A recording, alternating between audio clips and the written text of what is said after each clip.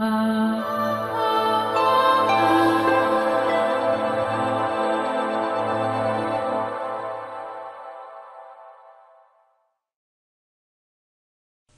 one of the most common procedures you'll learn.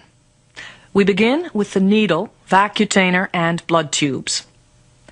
A blood pressure cuff can serve as a tourniquet to help you raise a good large vein in the antecubital fossa.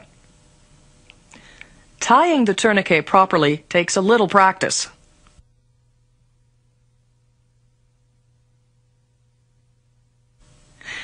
The universal precautions for this procedure begin with gloves and careful cleansing of the skin with alcohol or betadine.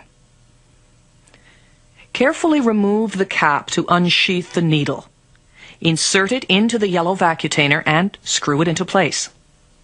Then lift the needle guard and remove the cap.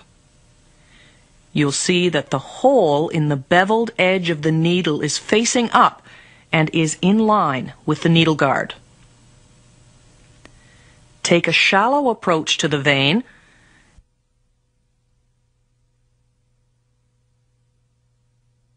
And the blood flashing back into the vacutainer confirms you're in. If you don't see the flashbacks, stop.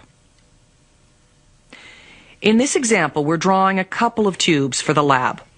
Gently oscillate the tube to mix the blood with the heparin or stabilizing agent in the tube.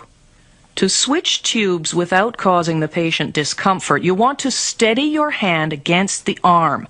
Then you can pop in the next tube without pushing the needle any deeper.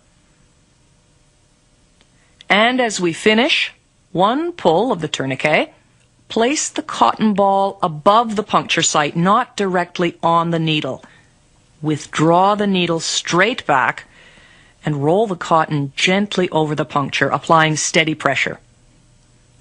Having the patient bend at the elbow to hold the cotton in place can create unnecessary bruising.